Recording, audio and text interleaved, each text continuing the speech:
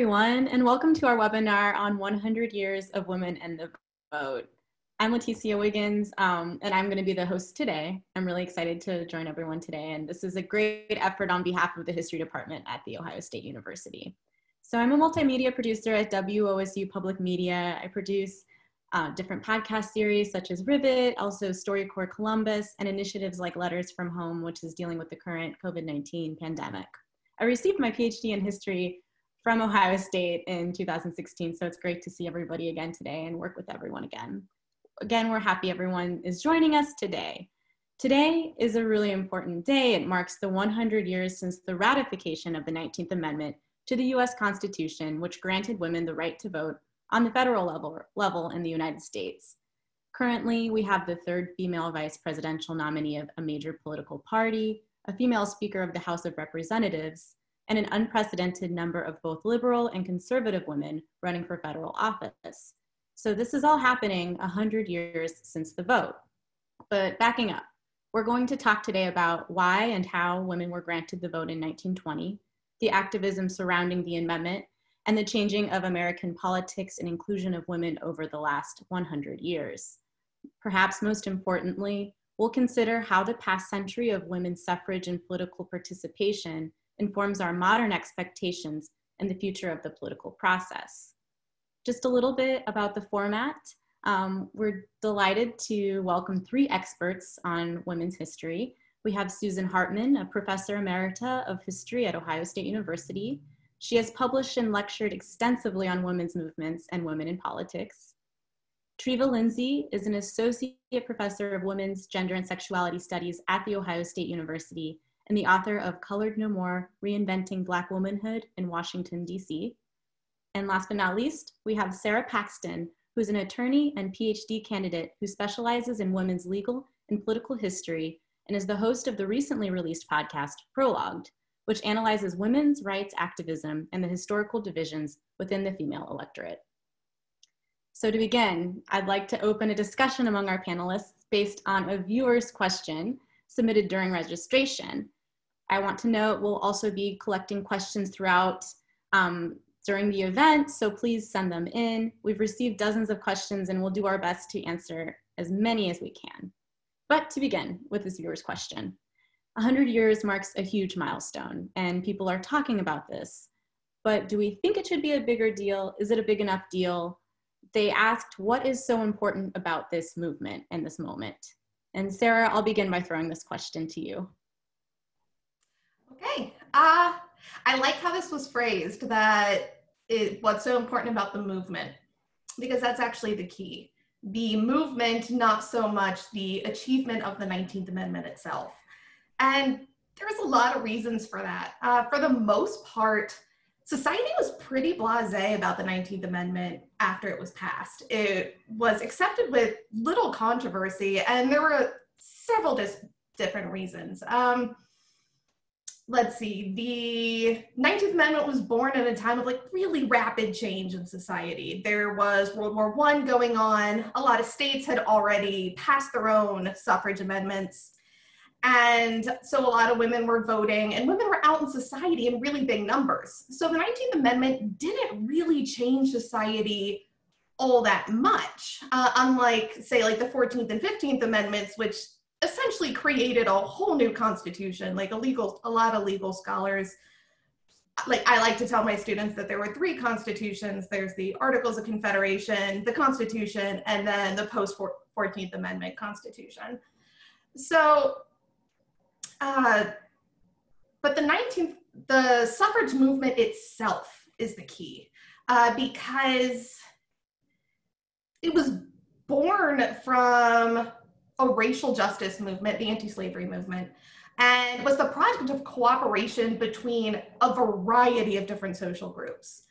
And this kind of set the stage for the long story of women's rights activism that has direct ties and parallels to the civil rights movement, the anti-war movement, and especially the feminist movement in the second half of the 20th of the second half of the 20th century. Yeah, I would add to that. I, think that's a really great framing, and I love that you um, started, Sarah, with the anti slavery conventions being such an important way to think about how suffragists came to understand their activism, came to understand their politics. And so while many will talk today about Seneca Falls and the Convention of 1848 as this landmark moment, and it is, and I think today what we're doing is being more expansive about how we think about the history of the 19th Amendment. It's really pushing farther back and going to 1837 and the slave anti-slavery convention that's happening there where we're thinking about rights and some of the same attendees at seneca falls are also at that slavery convention and move forward to these different milestone moments. So, as you mentioned, the 14th and 15th Amendments, which were very consequential amendments to what the United States looks like, what the legal landscape, the political landscape looks like, which is quickly followed by Jim Crow laws, which essentially disenfranchise um, African American men who had just recently been enfranchised as a result of um, the 15th Amendment barring, prohibiting folks based on race, color, or former condition of servitude to do that into the 20th century where we arrive at the 19th Amendment, but that's still not the point at which women across races, classes, ethnicities, citizenship status, et cetera, can vote. Um, really, we demarcate that in 1965 with the passing of the Voting Rights Act, which is was essentially puts us closer to what I would consider inclusive suffrage or uh, approximating universal suffrage for adults. So really, we're talking about over a hundred years of activism in which women were taking to the streets for the elective franchise and that this looks different. There's solidarities there's frictions there's tensions etc but i think with the 19th what we have an opportunity to do today in commemorating it is to get into the weeds of that history. That seems like such an important piece. And i just think it's it's a good time to sort of bring up this question of what did the 19th amendment even say? You know we talk about like the right to vote right? And you then think about not garnering that until the 60s for a certain population. So maybe getting into that a little bit. One of the important ways to think about is essentially amendment, it tells you what you can't do as opposed to a, something that you get a right to do something versus saying that you cannot be barred um, on the basis of sex um, to vote. What we do know is in practice, as Sarah mentioned earlier, what happens after is far less exciting. It's almost kind of anticlimactic. Yes, women do vote, they're registering to vote. In fact, in 1920, you see a surge of African American women attempting to vote, despite various laws, practices, and extra legal practices that bar them from exercising the actual right to vote. And so it's important when we think about these amendments, both the 15th, which is the one that says you can't um, prohibit on the basis of race and um, color or condition of servitude. And this one is saying what you can't prohibit against. And so states prior to that had already been enfranchising women. There are states that have enfranchisement from the eight, in, in, the 1800s, in the late 1800s. So I think what this federal level does when the constitutional amendment happens is producing a context in which that prohibition has the weight of the federal government behind it. But it still does not stop states from finding other ways to ensure that the electorate still remains um, in the hands of a certain groups of people. And the movement for suffrage or voting rights, as we t- start to talk about it post 19th Amendment um, more acutely, is really led by women of color, folks of color who were not effectively enfranchised by the ratification, passage, and adoption of the 15th or the 19th Amendments. I think this is another point to just bring in a quick viewer question. Um, and this is something to think about the states that were allowing this right to vote earlier on. A viewer wanted to know how were rural women involved in getting the right to vote and thinking about this a little bit. And let's mention the Western states, shall we? Those, in fact, were the only states that uh, uh, that uh, passed women's suffrage before before um, I think 1912 or so. Um, and those were mostly rural states. Um, m- most of the people lived in rural areas in those states. So there were a lot of rural women involved. Um, the Farmers Alliance and the Populist Party were two major organizations that were the earliest national organizations to uh, support uh, women's suffrage. So um, it was largely an urban movement, but not certainly not exclusively. And those Western states were critical in the final adoption of women's studies. Um, they sent um, more than 100 representatives and senators to Congress, and all of them voted for the uh, 19th Amendment. Um, so, so the Western states were really, really critical.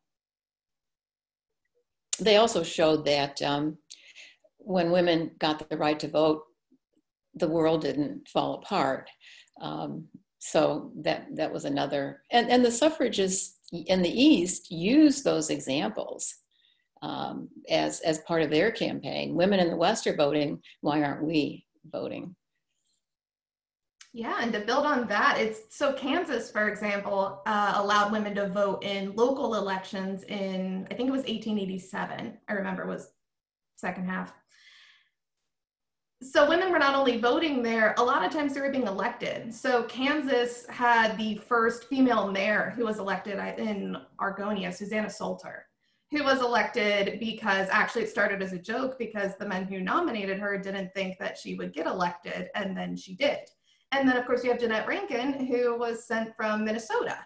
So it's the Western states, and like Dr. Hartmann said, the, the very rural areas were essential to the increase of women in public and political life. One thing I want to point out, even prior to this, is just to say, like, women's suffrage becomes an interesting issue because prior to what we formally know as the United States, when we're talking about colonies, there are a number of places where actually women are voting um, pre this. Um, that stops at 1807. New Jersey becomes the last state in which um, women are enfranchised. And so there's a turn that happens that relegates. And so this movement for women's suffrage is really important to contextualize because it is a right that some women did have mm-hmm. prior to the kind of more formalization of what we know as states and areas. And there is this period, even once they're formalized states, um, post right the constitution being drafted et cetera where you do have women who are voting. And i think when we think about women's suffrage to really put that into perspective that women are fighting for something that at one point at least some women had access to and then are gradually across a span of 100 plus years and really in certain cases almost 200 years granted back into the franchise. So it's this interesting historical trajectory that I think often people don't know. I think it's just that no women were voting prior to this point. And I think it's super important for us to drive home the point of how important women have always been and how women have consistently been pushing towards access to the elective franchise across the this nation's history, really.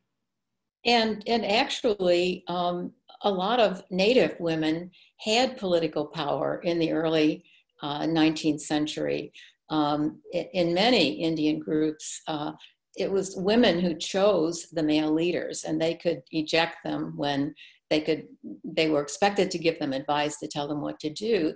And suffrages, especially in New York, where where where some Native um, American groups um, existed where women had consider, consider, considerable power, um, they inspired suffragists knew about this, and uh, and they they inspired uh, white suffragists. I'm really glad you mentioned Native women. I interviewed Dr. Daniel Rivers, who's another professor in um, at Ohio State, and one of the things he told me was that a lot of these um, nations that that let women or had women who were more politically involved in uh, tribal politics they actually after first contact started pulling back the women's rights uh, during the 19th century because they were trying to kind of curry favor with uh, the white colonizers who they had come into contact with now. So it's at the same time so while women in like New Jersey at the, in 1807 had their rights pulled back. Other women of color had theirs pulled back at the same time because of well, mm-hmm. English colonialism. I think this is a great segue into another viewer question. Just thinking about opposition, they say many women were opposed to suffrage and campaigned against the 19th, and they're wondering why.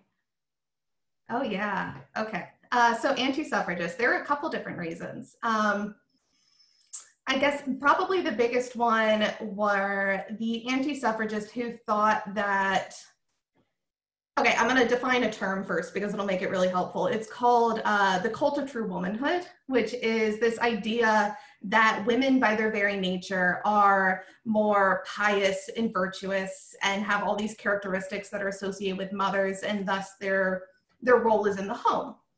And during the 19th century, that type of idea started being pushed outward to justify kind of being society's caretakers. So getting more involved in um, more social work things, so um, taking care of orphan children, etc.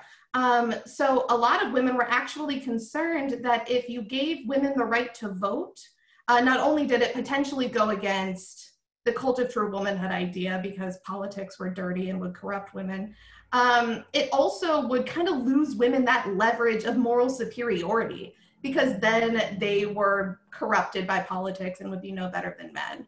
Uh, so you had a lot of that. And then you also had um, anti-suffragists who actually started as suffragists, um, such as Kate Gordon in Louisiana, who initially worked with suffrage organizations like uh, the National Association. Um, so that, that was like Susan B. Anthony and them. Uh, but she really, really, and a lot of people didn't, didn't want Black women to be enfranchised with white women. And when they started hyper focusing on a federal amendment that would essentially be set up like the 15th Amendment that would allow the federal government to come in and say you have to let them vote, uh, that's when she started pushing back on the 19th Amendment.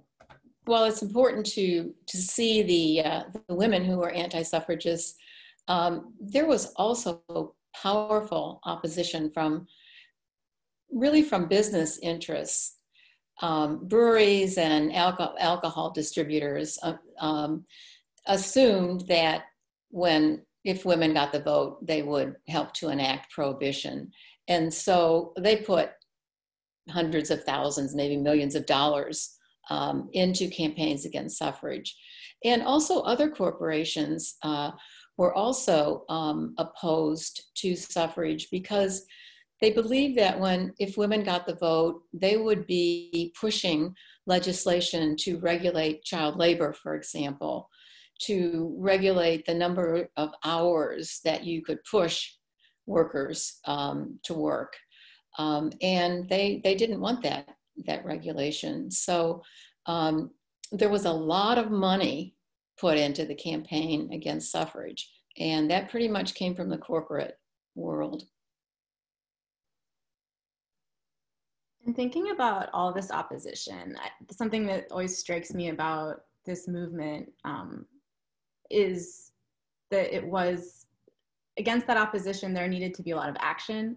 And I was hoping we could sort of talk about the action that was taken and some things that we might not think about it when we think about picketing or some of the actual violence that happened. So I just want to open it up to talk a little bit about that as well.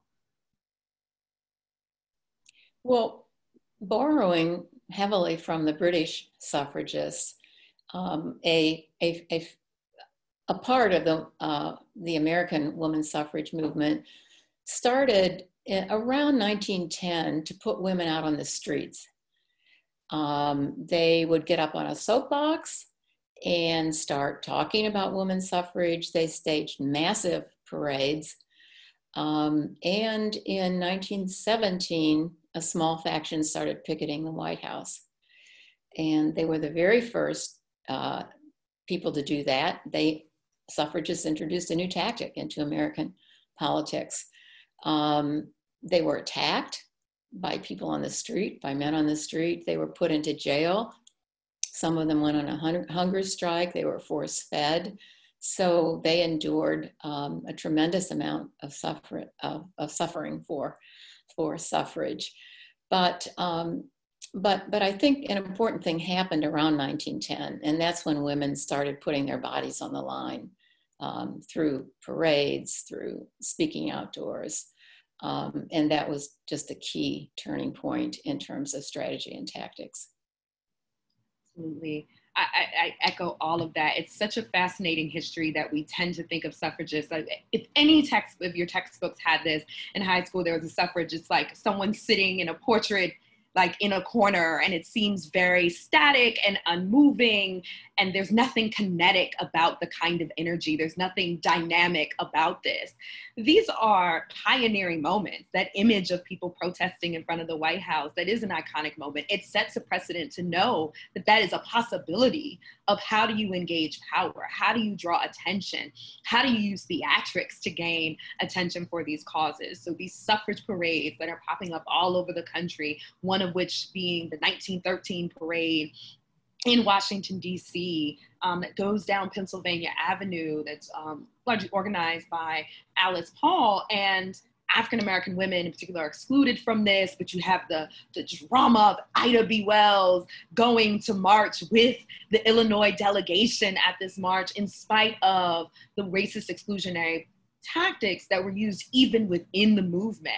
You have members of Delta Sigma Theta sorority marching in their first public act since being since being founded at Howard University just a couple months before, marching with their banner, Mary Church Terrell, marching with them. They're being heckled, they're being spat upon, they're being called names. There are threats to their well-being. And so that idea of women using their bodies, as Dr. Hartmann said, is so important in terms of contextualizing both the bodily autonomy that women take up and occupy their own bodies in service of this goal and the kinds of violence that they face on the other end of that. And we tend to think about voting rights violence almost exclusively in, in terms of this country with like Selma becomes the big example of seeing the images of the late John Lewis having been beaten and what happens as that group of protesters are crossing the Pettus Bridge.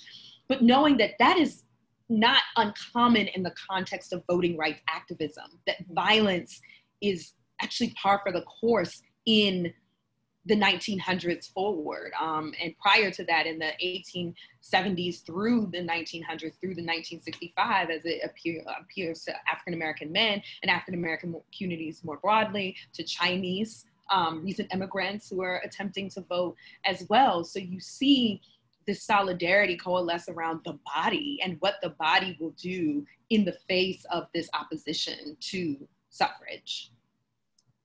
In that 1913 parade, um, they actually had to call in the National Guard to protect uh, to protect the march uh, the marchers, and there was an investigation um, afterwards. And I, I think the police chief lost his job because they weren't they weren't doing their job of, of protecting the parade beyond just not protecting the parade, a lot of the cops who were told to help the, the marchers down the street joined in with the anti-protesters yelling at the suffragists and spitting on them. And that's one of the reasons the National Guard had to get called in.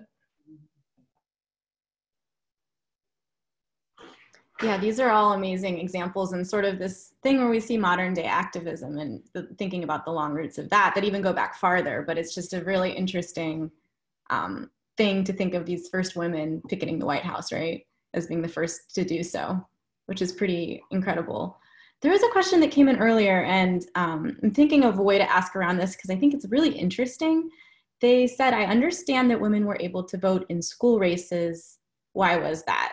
And I just am kind of curious the acceptance of women voting in certain aspects of life and then not in others, and how that's changed, and how we think about this moment in 1920 and beyond as sort of positioning women in different ways. Like we think of the private sector like or your life at home versus public sphere and just kind of general comments surrounding that as well.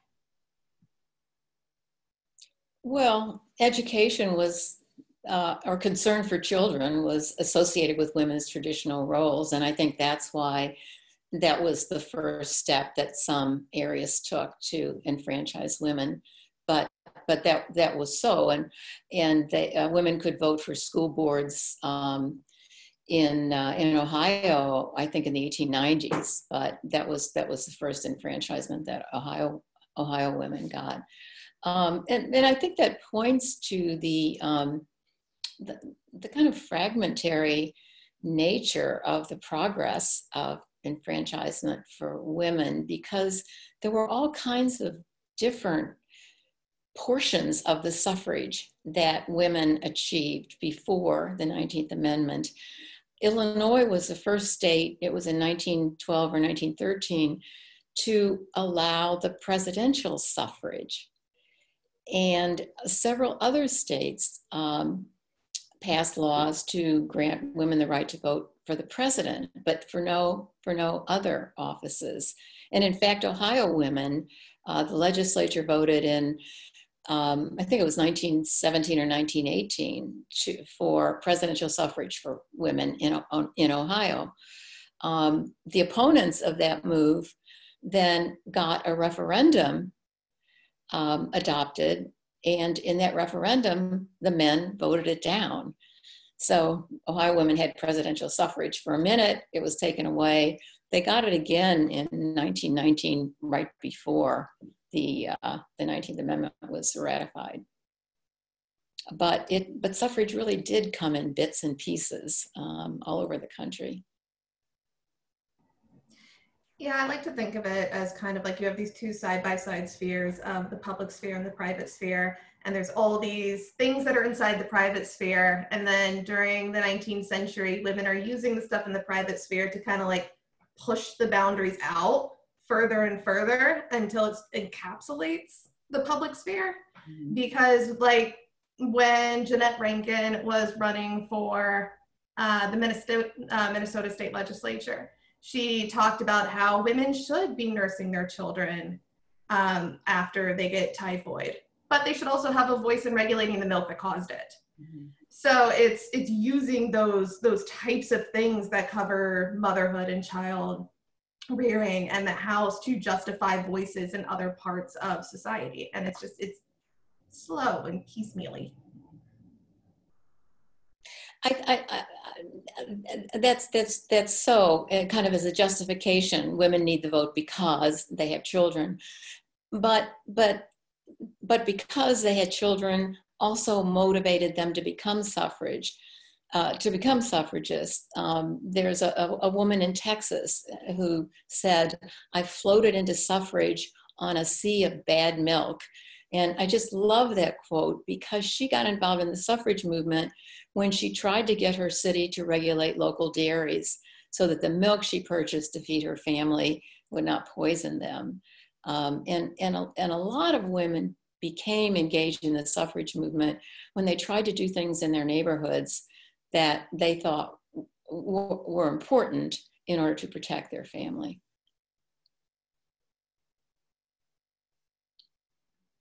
thinking about this is so piecemeal just it makes sense when we think about even the progression passing along and the legacy of this amendment and so and i know we've already kind of touched on this but like two points is that the 19th amendment did not enfranchise all women and so thinking about why that is and then also about the um, power of women's vote is it did not match that of men women's voting that is until the 1960s and so just kind of bringing those two things up and thinking about this legacy, this piecemeal way that women are given the vote.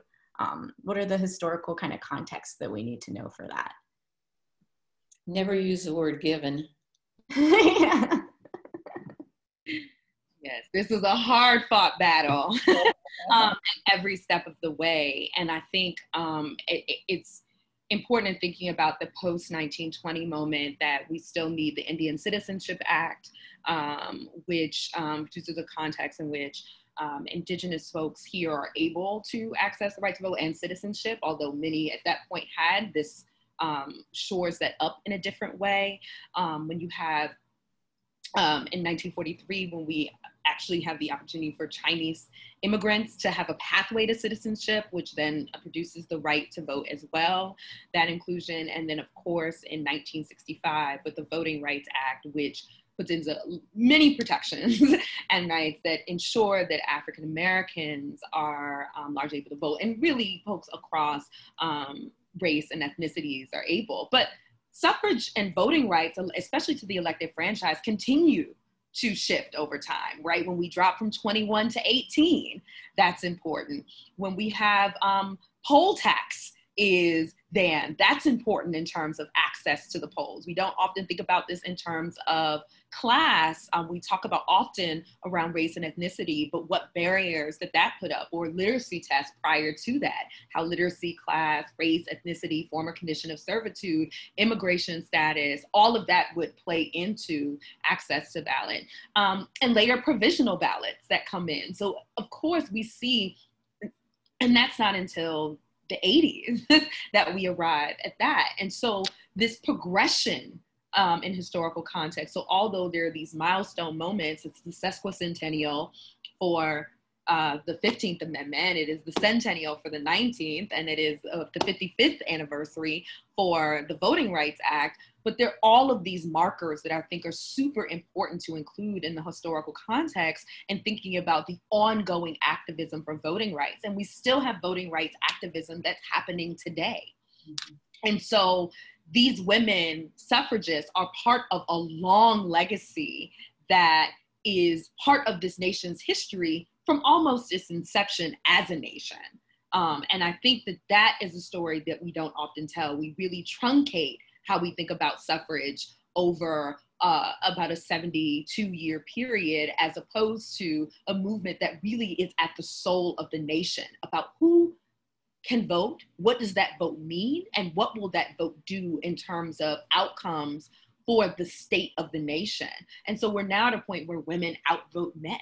Um, and I think that's a really important transition to see from 1920 moving forward in the 60s, where you have, you know, equal participation to exceeding participation at this point that now need to be courted, that need to be addressed, that need to be thought about. And so that private sphere expansion that folks, you know, used and mobilized in, in organizing for suffrage becomes so important as a political uh, space and a political arena in which people who elected officials have to really wrestle with that space that women become a formidable force. And although dynamic not monolithic extremely diverse and divergent in perspectives and opinions i think we have to reckon with how women become the force that they are. And the 19th amendment is one very important part of that story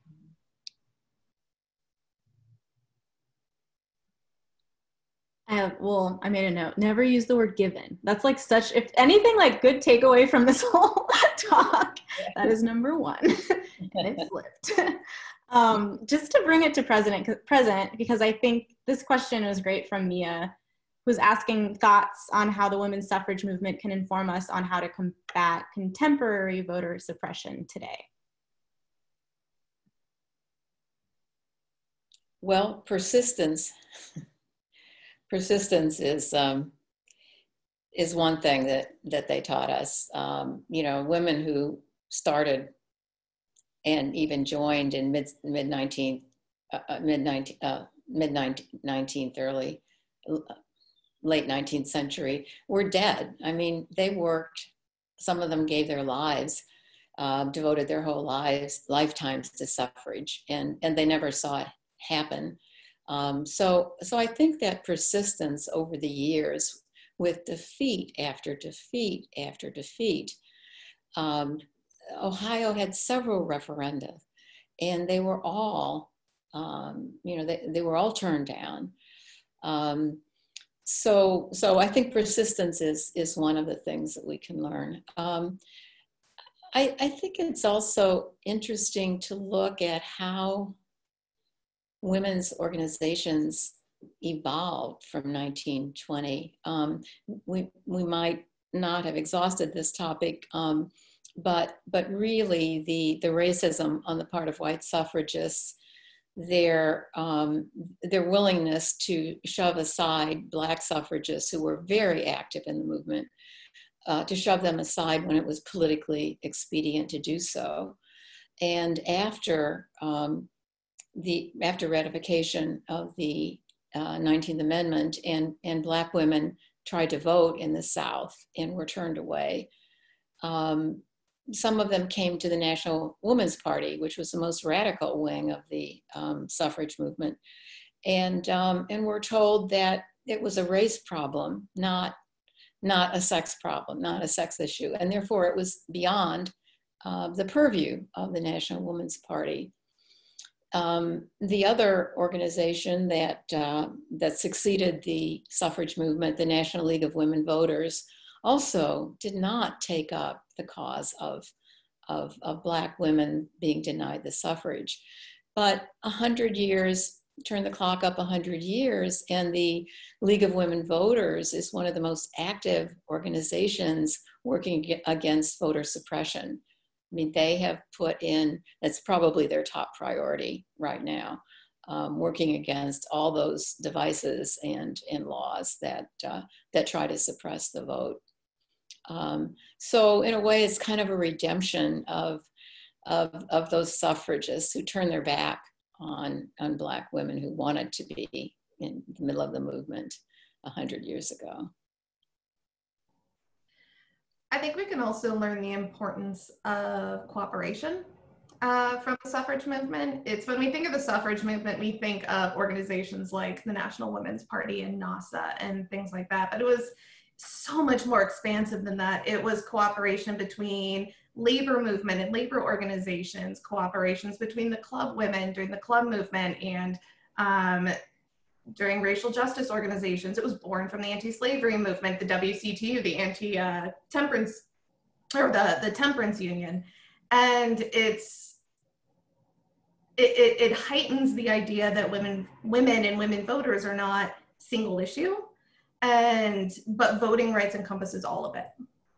Uh, so there's there's a there's a common thread that and the between all these different organizations and all the different issues, and applying that uh, cooperation to the modern fight for voting rights would be an excellent lesson to take from the suffrage movement. Mm-hmm. Yeah, I would agree. I think these are both great points. I think what I, only what I would add would be in learning from in that cooperation, grappling with those tensions and those conflicts and those divergent perspectives head on.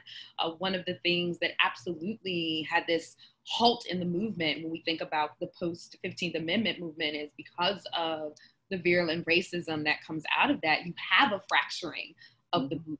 And so when we think about voting rights and whose voting rights are at stake, that it's really important for those who do have their voting rights to think about who doesn't and why they don't, to be very critical and reflexive about what barriers still exist um, that make it possible for some communities to vote and some communities not to vote. So everything from thinking about where polling stations are, how where are they located, how accessible are they, are they near public transportation, um, how did you receive information about voting? One of the things that the League of Women Voters does, and I'm so glad that Dr. Hartmann brought that up, is you know you can get voter education. One of the ways that the women suffragists immediately after that form into the League of Women Voters, particularly in a state like Ohio, is that now that we have the right to vote, we got to educate people on how to vote.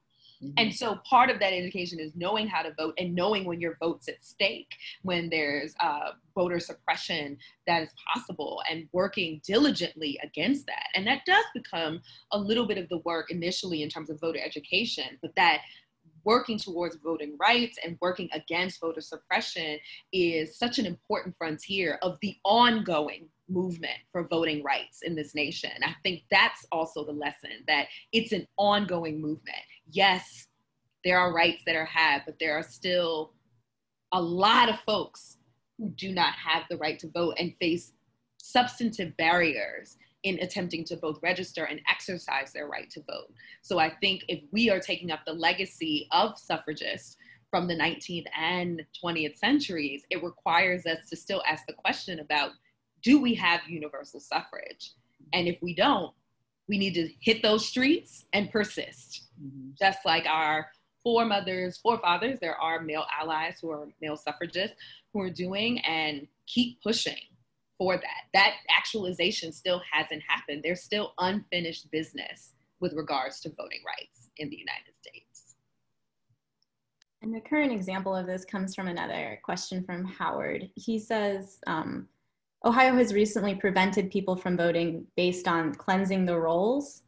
um, he was wondering why there is no substantial pushback on this within the citizenry of the state, especially organizations such as the League of Women Voters. So I don't know if there's any comments on that at all.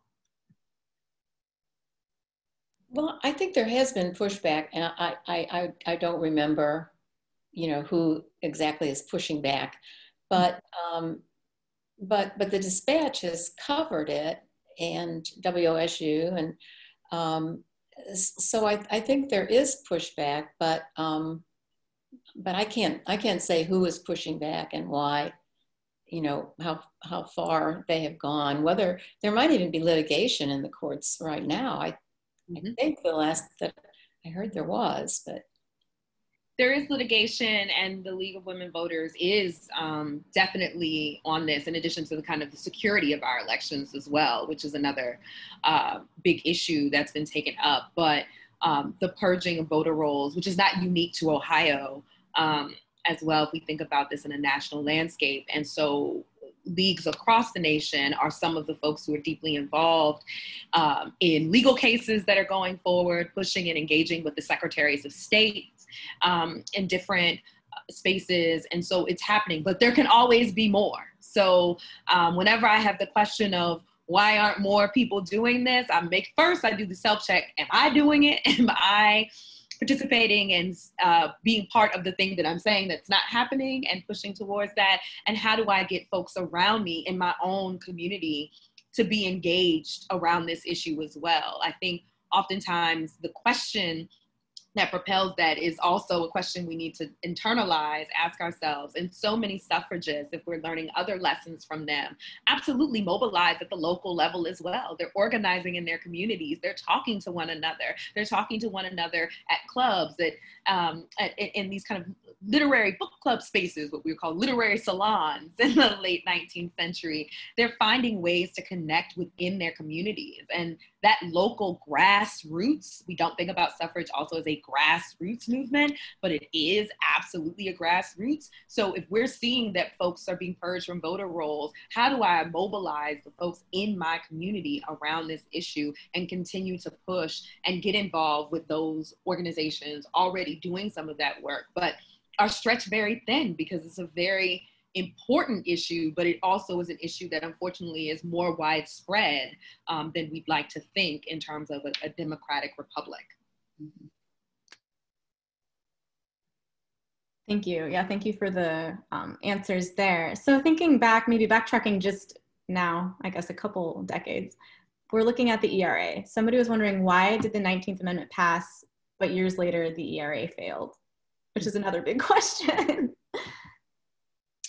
Well, um, the uh, the women behind the ERA. I mean, this is just one reason. I mean, obviously, the the movement that arose to oppose it is is a reason why it failed. But the women behind the ERA were not as organized as the suffragists.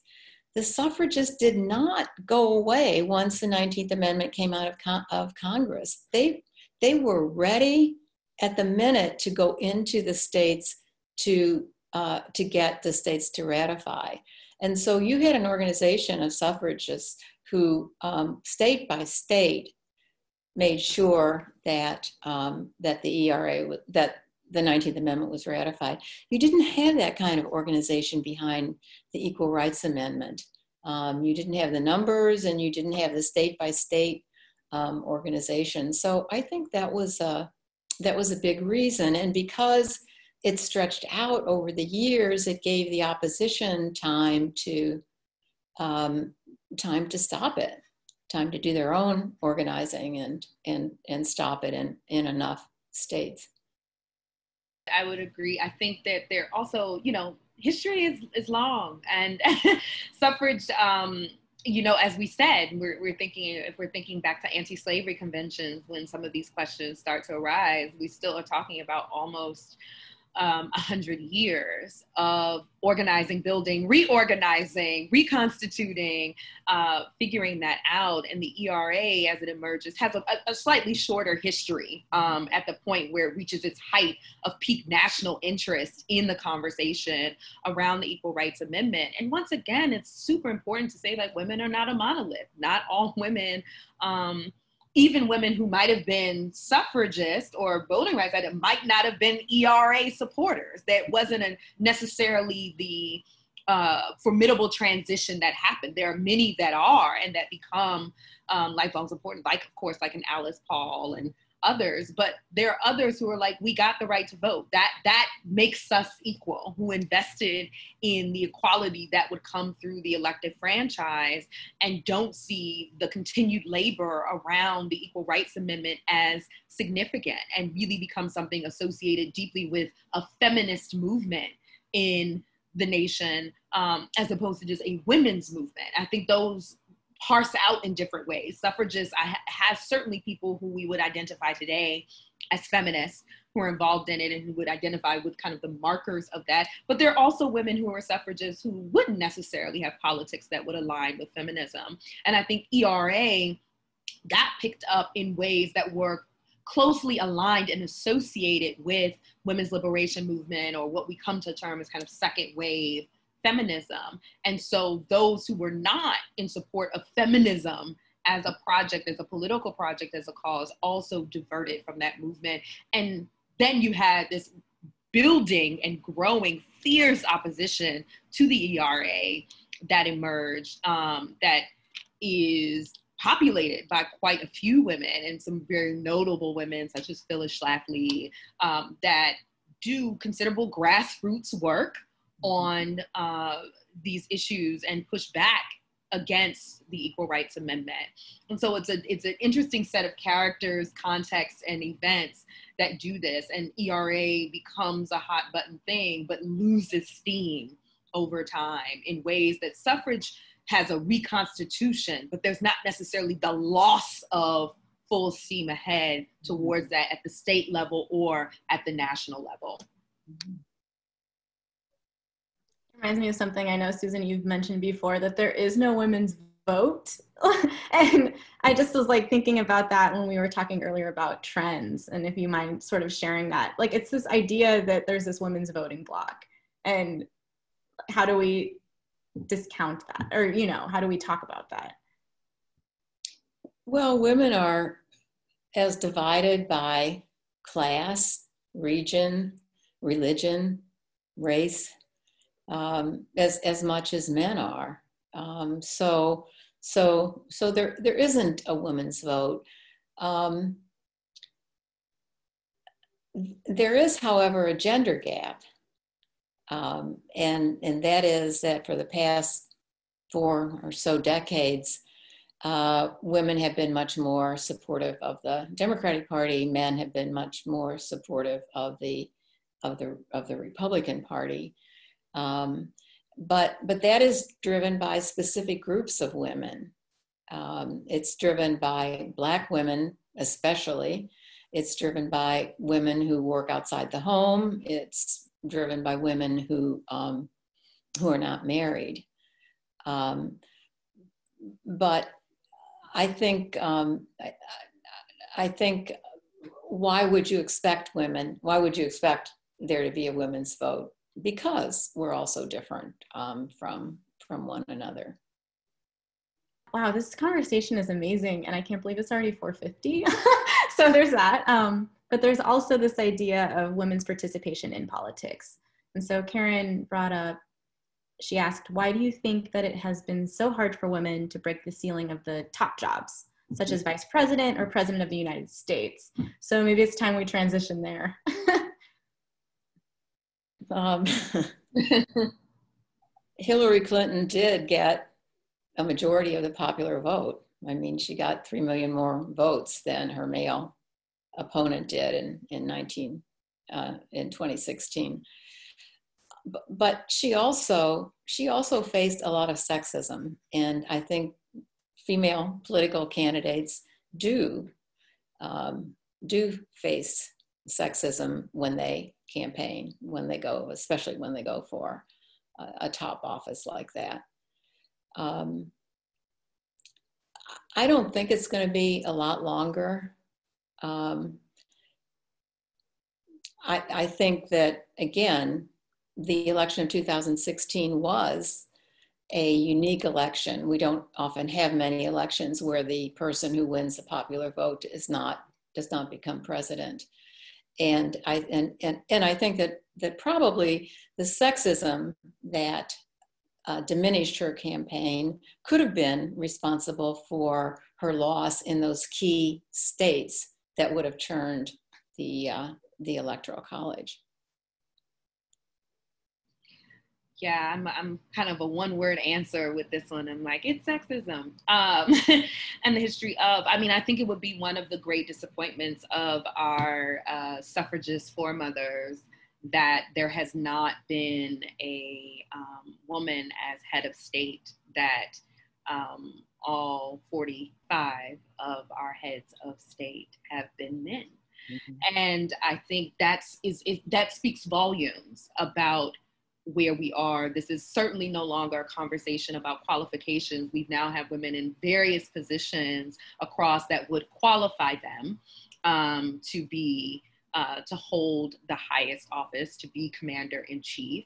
And I think that the way that sexism has moved throughout history um, tells us that those barriers are real, that the the ceiling is not so easily shattered and that even when we see the ceiling about to shatter um, there's a deep and abiding kind of reinforcement ceiling that's right there that I think uh, is is what we've seen. I was certainly encouraged by the number of women running for elected office across the board um, at local, national, national and state levels um, in 2018 and, and, and certainly in 2020 that we're seeing. I think this is an important moment to reckon with some of that, but even the coverage that we've seen of women who were running for president prior to um, our kind of narrowing down as we have at this point in this presidential election revealed some of the same sexism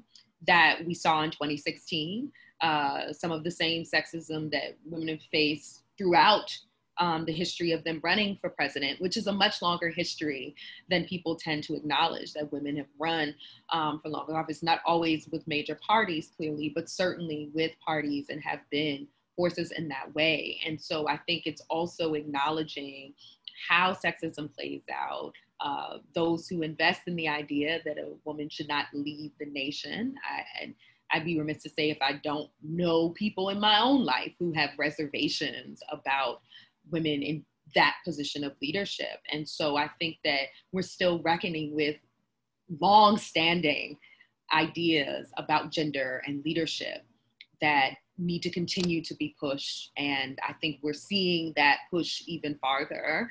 And I'll be curious to see what happens in November. Mm-hmm. Yeah, I don't have a, a ton to add to that. Both of those were great. It's I think it's just important to acknowledge like the insidiousness of sexism in that it it molds itself to how society is currently set up. So, like Jeannette Rankin, who I think I said was a Minnesota congresswoman, she was Montana, um, when she actually voted against World War One. And this was used as an example of women can't make the hard decisions, even though she was voting thinking of the poor mothers in her state where it's their sons who are going to go and serve and die while now we have a lot of that overt sexism, but now we have also additional more subtle sexism, what I call the um, the but not this one sexism, to where you'll have like Geraldine Ferraro when she ran as vice president, there were polls everywhere that said people were very willing to accept a female vice president. And actually, that would shore up the women's vote for Mondale, and then women voted for Reagan uh, because they didn't want that particular woman. And it was the same thing. And it's, you heard it a lot with Secretary Clinton, where she, it's, I'm all for a woman president, but not that one. Well, and I think, you know, the very traits that we, we want in a president um, ambition, strength, assertiveness they don't make women likable to at least part of the, of the voting the voting public. I mean, there, you know, women are accused of being too tough, too aggressive, too ambitious. and um, and and the very traits that you need to be a national leader are not seen as appropriately feminine to significant portions of the population. I think to push that, it's like some a couple of folks are bringing up a good point of nations around the world have more women in powerful political positions. So what about this is uniquely us also? Our sexism, um, our unique brand of sexism, it is built in. I think that, that we are we have to do a lot of divestment from that. There are a lot of ways that we can think about how sexism shows up in in the way that we're governed um, beyond who's um, in the White House um, as president. It shows up in various ways, whether we're talking about paid family leave, whether we're talking about childcare, whether we're talking about there are states that literally say we have 50 50, we should have 50 50 in terms of representation as a way to combat um, how sexism, sexism has shown up in governance and politics. Um, and those ideas about what makes a qualify someone to be president and seeing how deeply that's tethered to ideas about gender. Mm-hmm. So I'm like, who runs for president who isn't ambitious? Right? I mean, it seems almost ridiculous to say that that person is ambitious, like they're running for president. Of course they are. That's an ambitious goal. There are only 45 people, right? 45, well, they're less than 45, but there have only been 45 presidencies right, presidencies um, over the course of history. So of course, right, this looks a certain way, but we don't look at that as the ambition of those individuals. But ambition is absolutely maligned for women. It is absolutely seen as stepping outside of. And then candidates have to navigate both that and are they good mothers? Are they good um, parents are did they take care of other family members are they nurturing and then if they're too nurturing well they're not strong enough if they um, haven't faced these kinds of challenges then we doubt that they're actually going to represent the nation in a way and it's the understanding and the gendering of the nation as this, this kind of nail that we need someone who's going to take care of it and protect and provide, which has a long history of seeing as kind of masculine space, and then someone who takes care of the home front in a very particular way, which is often relegated to kind of feminized space. And so that is where women can occupy.